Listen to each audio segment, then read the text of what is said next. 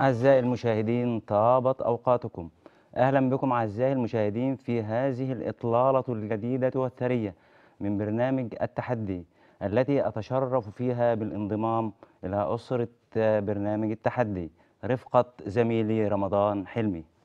أعزائي المشاهدين طبعا مساءكم. وأرحب وأتشرف بانضمام زميلي آه، الإعلامي محمد عبد الباقي. وإلى أسرة برنامج التحدي وسنع وإن شاء الله سنعدكم آه، إن إحنا نقدم حاجة إن شاء الله تليق آه، بالبرنامج التحدي. آه، برنامج التحدي بيقدم لكم كل ما هو جديد في مجال الطب ومجال الثقافة في الرياضة في الفن في في المشاكل الاجتماعية. برنامج التحدي. الضوء على أهم الأخبار والأحداث والقضايا. برنامج التحدي هيساعدك في حل مشكلتك.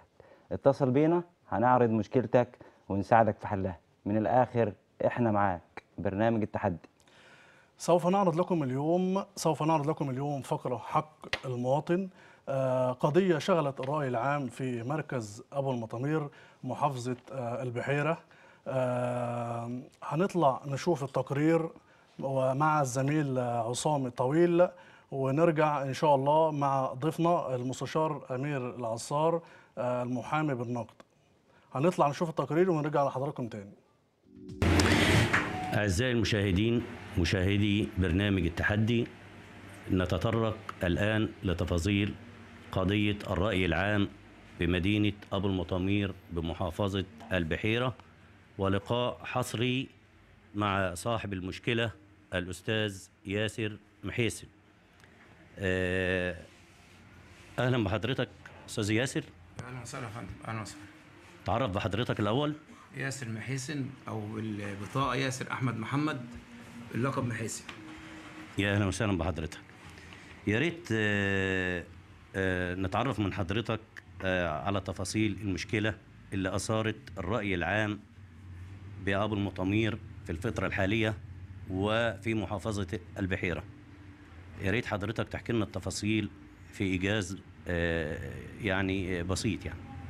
حضرتك المشكلة كلها أنا ليا حتة أرض بعقود رسمية ادي العقد أهوت وحاصل على صحة توقيع أهوت ورق رسمي وفي الورق نفسه أنا ليا حصة محددة المعالم برسم كروكي أهو. فوجئت أهو فوجئت حضرتك إن في رخصة مباني طالعة بمساحه واخدين من المساحه بتاعتي فبص كده رحت مجلس المدينة لقيت الكلام ده صحيح رحت طلعنا الرخصة لقيت الرخصة. أول حاجة طلع باسم ناس ميتين. طلع باسم ورثة أحمد حسن مهران. أحمد حسن مهران ولاده كلهم ميتين. وميتين من إمتى؟ مش من إمبارح ولا من سنة ولا اتنين. دي حاجة. الحاجة التانية اللي طلع الرخصة ده مطلع بدون سند وكالة بغير ذي صفة. إزاي؟ ببص كمان حاجة كمان في في, في الرخصة. لقيت مهندس التنظيم ما مضاش. مهندس مدير التنظيم ما مضاش. لقيت مهندس تاني خالص بعيد عن البناء هو اللي باين الرخصة. فوجئت بالحاجات دي كلها توجهت الوحده المحلية قدمت إنذارات وقبل الرخصة ما تطلع في الأصل خالص أنا مقدم إنذارات على يد محضر بتقول إن الحاجة دي ملكي وسند ملكيتي أهوت وانظرت الوحدة المحلية وقلت لهم برضه نفس الكلام إن في أرض ملكي في الحتة الفلانية وسند ملكيتي أهو. تمام. بعد كده حضرتك رحت رئيس ألو... رئيس الوحدة المحلية الراجل مشكورا استغرب للوضع ده كله. وقلت له أعطيته له صوره من إيه، رخصة المباني. طب رخصة المباني دي طالعه إزاي يا ريس؟ في ناس ميتين. دي كانت الطمة الأولى. الطمة التو... ال- الأكبر من كده إن في مهندس غير المهندس ما هو اللي ماضي طب أنت ماضي ليه؟ مش اختصاصك. طب عليك انت مختص... مدير التنظيم مضى ليه؟ ما مضاش ليه؟ مدير التنظيم برضه ما مضاش. يبقى عندنا مدير تنظيم ومهندس تنظيم ما مضوش. بناء على إيه؟ مهندس من المحلات يجي يمضي رخصة زي دي. دي حاجة. الطمه الأكبر من كده رئيس الإدارة الهندسية بنفسه هو اللي متوقع على موقع على دي. طب أنت موقعت دي إزاي؟ ما فتحتش الملف؟ ما شفتش الورق ده جاي منين وراح فين؟ ما عرفتش إن الرخصة دي طالعة باسم ورثة. ناس ميتين. الميتين دول يعني معلش هم طلعوا من التربة وعملوا توكيل للراجل اللي طلع, الرخصه ولا في عفريت بره طلع قال له خد توكيل روح اعمل لي الرخصه دي حاجة.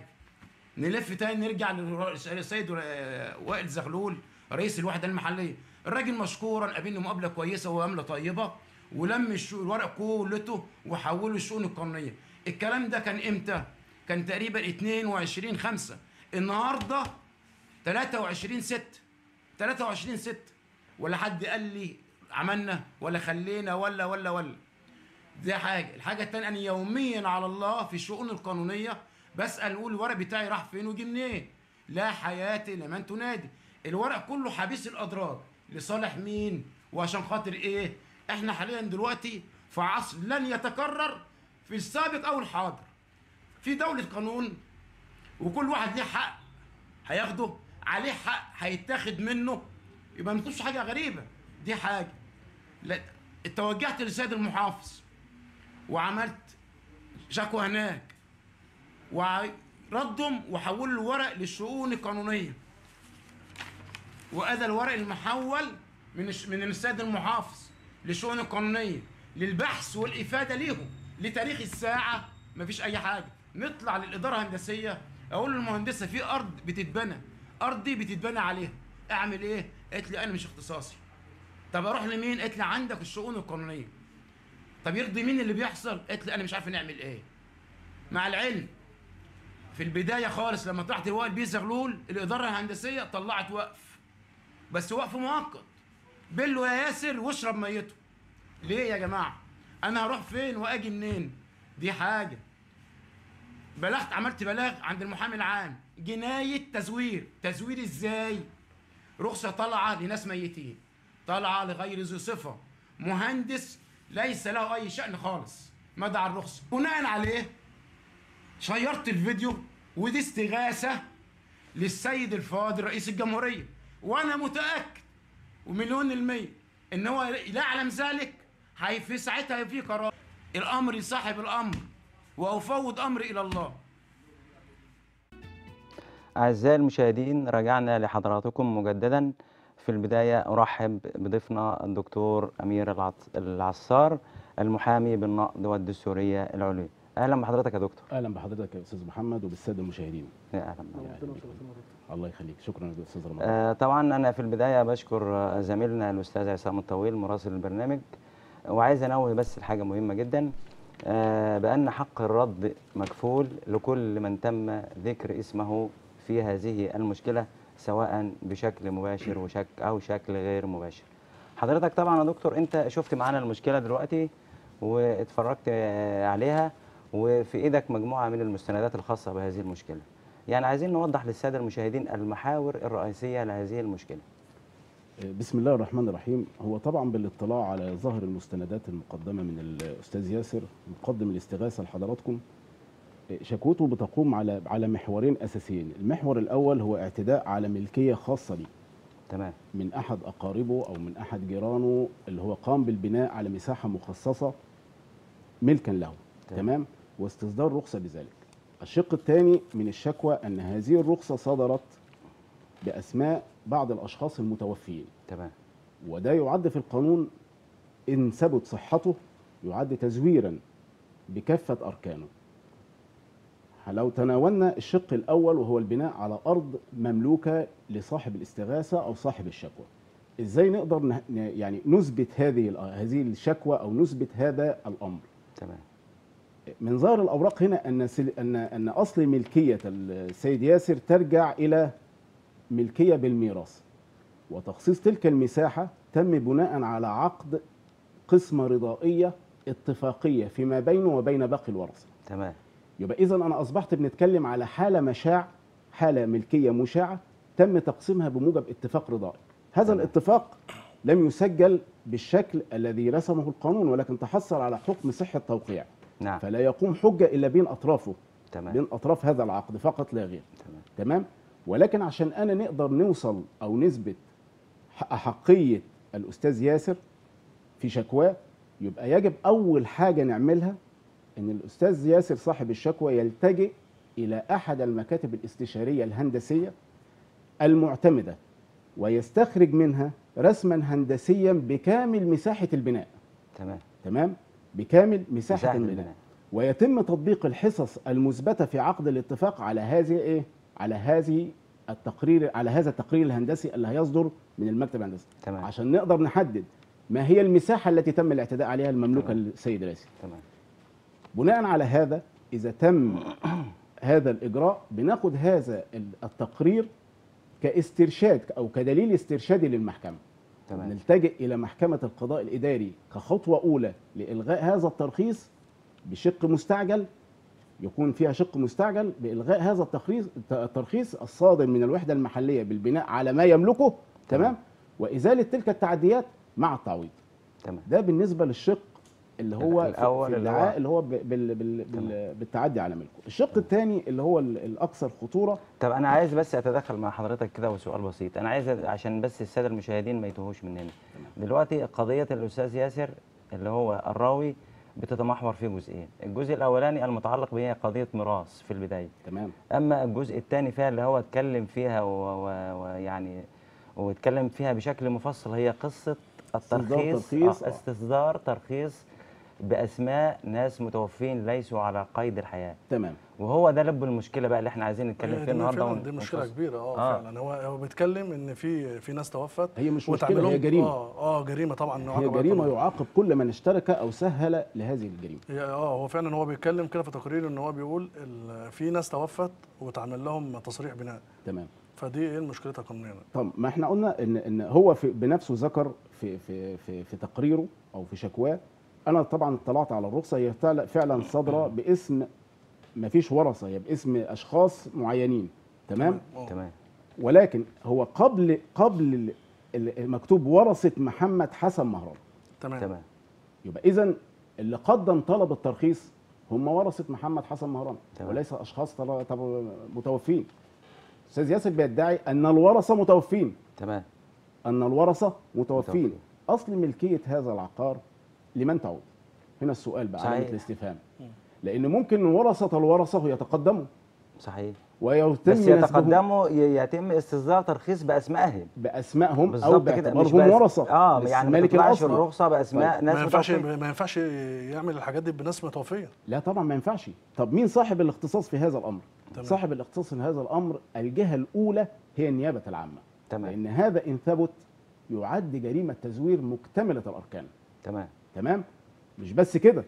ويعاقب فيها الموظف الذي استصدر هذه. هذه هذا الترخيص باعتباره إنه أساء استعمال سلطته الوظيفية. تمام. فهو الأستاذ ياسر بنفسه قال وأقر إن هو تقدم ببلاغ إلى النائب العام أو المحامي العام في الدائرة التي تقع فيها الدائرة التي يقع فيها العقار والوحدة المحلية التابعة له. تمام؟ تمام. فما عليه إلا أن يتتبع تطورات هذا الإجراء.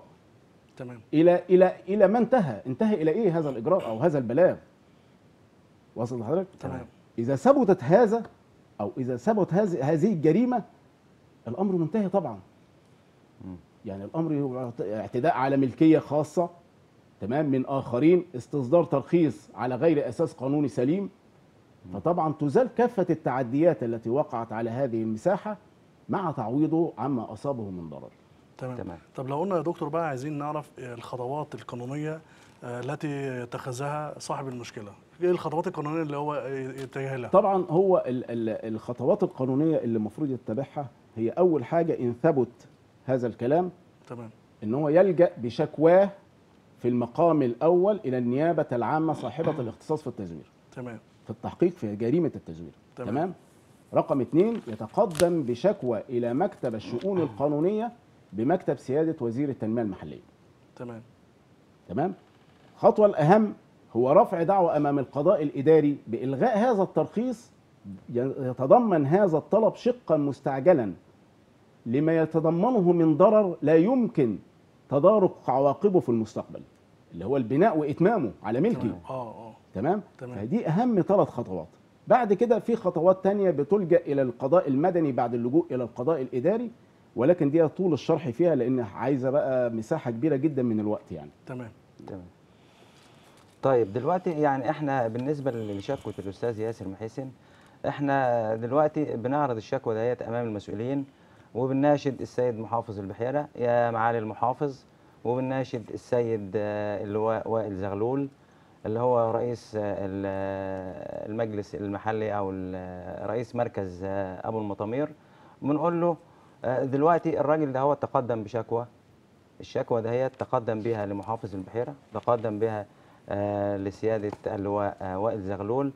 آه، برجاء من حضراتكم إن تنظروا في الشكوى ديت لأن الشكاوى ديت في الآخر آه، كان مكانها الادراج فإحنا عايزين نشوف إزاي هيتم التحقيق صحت فهي بتمس أصل آه، ملكية صحيح. تم حمايته بموجب الدستور الدستور والقانون. صحيح. وبعدين إحنا إحنا كمان قلنا. قلنا في بداية الموضوع يا جماعة حق الرد تمام. لكل الذين تم ذكر اسمائهم في هذه القضية طبعاً. فإحنا طبعاً. دلوقتي إحنا بنطلب من السيد محافظ البحيرة والشؤون القانونية إحنا تقدمنا لحضراتكم بشكوى يا ريت نعرفوا الشكوى دي وصلت لفين بنقول إلى السيد. آه، رئيس مدينة أبو المطامير إحنا آه، المواطن ياسر تقدم لحضرتك بشكوى إحنا عايزين نعرفه الشكاوى دي راحت فين والشؤون القانونية أفتت في الشكاوى دي وقالت إيه. بس ادي كل الموضوع. وطبعا إن شاء الله طبعا مستشار أمير إن شاء الله طبعا هيتابع إن شاء الله بالنسبة للقضية دي. هنتابع ونشوف مشكلة ياسر. و- ونكلم حق إن شاء الله إحنا هنجيب آه طبعا إن شاء الله مشكلة. هي مكتبنا بالكامل في الإسكندرية ودمنهور إحنا تحت أمر البرنامج في هذه الحالات الإنسانية لأن إحنا نرفض الفساد لأن هذه الدولة لا تقوم على فساد. إن دي شاء الله. مبادره السيد الرئيس طبعا إنه لا فساد في ذا- في تلك الدولة ونواجه بكل قوة. أي فاسد في أي مكان ايا كان. تمام. طيب إحنا هنستأذن حضرتك إن إحنا ننتقل لموضوع تاني جديد. وموضوع بيهم آه، الرأي العام أو قطاع كبير جدا من الرأي العام آه، المصري وبخاصة في الريف. الموضوع هو خاص بقانون مخالفات البناء أو بين قوسين كده لو حبيت أتكلم أقول مصالحات البناء. تمام. آه، الموضوع ده بيهم قطاع كبير جدا. حتى إن بعض ال- الإحصائيات بتقول ما تم آه، تقديمه آه، لتقديم آه، طلبات تصالحات البناء يبلغ تقريبا حوالي مليون وستمائة ألف لحد دلوقتي تمام وأخيرا قد صدر قرار من رئيس مجلس الوزراء آه، بيقول في فحواه أو معناه بأنه تم قبول هذه الطلبات جميعا. إحنا هنتناقش مع حضرتك آه، يعني في هذا الموضوع. الأول عايزين نعرف ما معنى هذا القرار الذي صدر عن رئيس مجلس الوزراء وبعد كده بقى عندنا مجموعة من الأسئلة التي وردت إلينا في البرنامج سنتناقش فيها مع سيادتك. تمام. آه، هو بس أنا حابب في موضوع التصالحات طبعا هو قيل فيه ما قيل وهو آه، تحمل كثير من الجدل تمام. الذي لا يستحقه. هذا القانون من وجهة نظري أنا القانونية هو قانون استراتيجي ذات هدف يصب في الأصل في مصلحة المواطن وليس في مصلحة الدولة. أنا لما هنقيم دولة صاحبة سيادة حقيقية على أرضها لا تسمح بوجود أي جريمة سواء كانت هذه الجريمة تنظيمية أو أي نوع من جرائم التنظيم. جرائم المخالفات هي جرائم تنظيمية. من المقام الأول تحتمل شقين جنائي وإداري. تمام؟ تمام. ولكن هذا القانون قد شرع من أجل مصلحة المواطن. عشان أنا النهاردة لما نقوم نبني في مناطق أو بشكل عشوائي لما نقوم نبني في على الأرض الزراعية إيه اللي أنا سببته لمصلحة هذا الوطن؟ أنا بحثت عن مصلحتي الشخصية إن أنا بنيت بيت. تمام. تمام؟ ولكن أدى ذلك إلى تآكل الرقعة الزراعية. حضرتك لما بتيجي تبني بيت على مساحة أنت ما بت- ما بتدورش المساحة اللي بنيت عليها فقط. أنت صحيح. منعت مصدري الري والصرف عن باقي المساحة. صحيح. فأنت تسببت في إضرار رهيب للدولة لأن حضرتك بنيت على قراط وبوظت 10 تمام. تمام؟ فهذا القانون الهدف منه هو قيام دولة سليمة صحيحة. عشان أنا كمواطن أنا وأولادي نستريح. لما أنا النهاردة نخش في شوارع في المحافظات الكبرى بعرض 6 متر و8 متر وفيها ارتفاعات بال20 وال30 دور. حقيقة. آه فعلا. حقيقة على أرض الواقع. بدون حساب للبنية التحتية أو أو ازدحام السيارات أو أو إلى آخره. سكان ال 30 دور أو ال 20 دور هيركنوا سياراتهم فين في الشارع؟ وأنا ما وفرتش لهذا المرفق أي أي حاجة نقدر نستوعب هذا الكم. تمام. ولا ولا هذا طيب، هذا إحنا- أنا- هذا القانون تمام. صادر من إدارة سياد سيادية سياسية واعية حقا.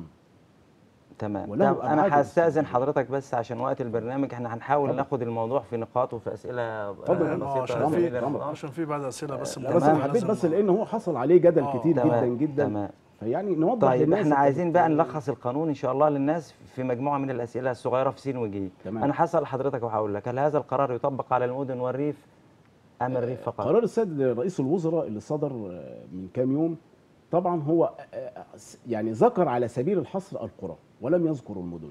ونحن نتبع تمام. حرفية القرار حرفية القرار بتقول قرى تمام يبقى اذا هو قرى في الريف تمام. الناس اللي بنت يا جماعة يا, كملوا يا القصة. ريت حضرتك يبقى ال- ال- الإجابة بس إيه مختصرة اتفضل يا تمام. طيب إحنا لو عايزين دلوقتي نعرف آه، سعر آه، متر التصالح في الريف هو هو حدده السيد رئيس الوزراء ب 50 جنيه ما فيش زيادة ولا أقل تمام إحنا هو بس 50 النقط النقط دي. مهمة آه، بس عشان خاطر أيوة، برضه أيوة. نوضح للسادة المشاهدين طبعاً. تم تقديم التصالح ودفع الجدية على أساسها طيب كيف تتأكد الدولة من صحة البيانات بص حضرتك هي النهارده الدولة أطلقت حق المواطن في إن هو يقدم الإقرار اللي هو طلب التصالح تمام واعتمد ما فيه من بيانات هي قال يعني السيد رئيس الوزراء قال لك انت حضرتك قدمت كذا أنا موافق على اللي انت قدمته وهنحاسبك وهنقدم لك التصالح على البيانات اللي حضرتك أقرتها. بموجب إقرار حضرتك بتمضي فيه أو تمام. بتوقع فيه كمقدم لطلب التصالح أو لطالب التصالح تمام. بتفيد فيه بصحة البيانات دي. تمام؟ تمام. طب إيه دور الدولة الرقابي؟ الدولة قالت في شق تاني في القرار إن من حقها إنها تشكل لجان وتطلع تاخد عينات عشوائية أو تنظيمية تمام. على حسب ما ترتقي الوحدة المحلية أو وزارة التنمية المحلية. تمام. تمام؟ فإذا ثبت أن في غش أو تدليس أو خطأ أو تزوير في تلك البيانات من حقها أنها تتخذ كافة إجراءاتها التي ترتقاها تمام. مقا- في في مواجهة صاحب الطلب. طيب برضه سؤال مهم برضه ماذا بعد سداد الرسوم؟ بعد سداد الرسوم حضرتك بتتحصل على نموذج رقم 10 تمام. تمام؟ أي رسوم حضرتك آه، كامل المصالحة ولا ولا الجدية؟ ما هو في فرق في فرق في في نقطتين تمام. دفع رسوم جدية التصالح أنا ودفع الجدية. كامل قيمة التصالح. تمام. طيب. حضرتك دفعت. طيب ما هي طرق السداد؟ هي طرق السداد آه، آه، مقصود بطرق السداد يا أستاذ محمد معلش. يعني كيفية السداد؟ آه لا لا طرق السداد. آه، هل في كاش السداد. أو التقسيط أو يعني لا لا يا فندم طبعا. هو المح... القرار واضح قرار السيد رئيس الوزراء واضح جدا ما فيهوش كلام. قال لك إن هو يجوز للمواطن إن هو يقسط المبلغ كامل إجمالي المبلغ على مدة ثلاث سنوات تمام. من تاريخ الاستحقاق أو إن هو لو دفع كاش بيقدر يتحصل على نسبة خصم مقررة في القرار تمام في القرار. طيب ماذا بعد إتمام التصالح بعد إتمام التصالح حضرتك بتستفيد بكافة الفوائد المترتبة على التصالح نقول لك أبسط مثال بسيط جدا بس عشان كلنا نستوعبه تمام. ده يقوم مقام التوثيق يعني أنت بتعتبر إن أنت وثقت شقتك أو بيتك ده مق... ده لوحده قرار التصالح النهائي ده تمام. ده مقام التوثيق. تمام؟ مش بس كده إن أنت أصبحت أصبحت العين المملوكة لك عين شرعية قائمة تقف عنها كافة المخالفات وكافة الدعوة تسقط وتقف. لا لا يمكن الإتمام فيها أو ال أو ال أو السير فيها. تمام. تماما. طبعا بيبقى من حقك إن أنت تدخل كافة المرافق. حتى لو كانت هي كودية بتحولها باسمك حضرتك لأن ما بيبقاش كود عداد كودي. لا تمام. حضرتك خلاص تحصلت ووثقت شقتك بشكل مو- قانوني. حاجة موثقة مع الدولة. تحصل آه على على عداد كده. تمام. ال ال طبعا بتقدر تتحصل على تراخيص لل- للوحدات التجارية أو الصناعية. وطبعا تمام. بيأثر على سعر البيع تمام. عموما الكلام في موضوع قانون مخالفات البناء. والمصالحات موضوع لا ينتهي وموضوع شيق جدا. إحنا في نهاية هذه الحلقة نتقدم بخالص الشكر والتقدير لأستاذنا الأستاذ الدكتور أمير العصار المحامي بالنقد آه، شكرا زميلي رمضان على هذه ال- الحلقة الشيقة. آه، شكرا لكم أعزائي المشاهدين على حسن الاستماع والمشاهدة. كما أتقدم بالشكر لزملائي في الأستوديو وزملائي المراسلين خارج الأستوديو الأستاذ عصام الطويل والاستاذه سلمى السيد والأستاذ عصام سند. أنا بشكرك شكرا جزيلا. وكنا سعداء النهارده. وهي حلقة مفيدة جدا وإن شاء الله المزيد إن شاء الله إن إحنا نقدر نوصل كل كل صوت مواطن نقدر نوصل له صوته إن شاء الله من خلال برنامج التحدي وإحنا ارقامنا موجوده على الشاشة. أي حد حابب يتواصل معنا من خلال الارقام الموجوده على الشاشة إن شاء الله آه، هنكلمك ونرد عليك آه، ونوصل صوتك ونعرض مشكلتك إن شاء الله. وأنا بشكرك شكرا جزيلا أستاذ محمد. شكرا أستاذ رمضان. والسلام عليكم ورحمة الله وبركاته.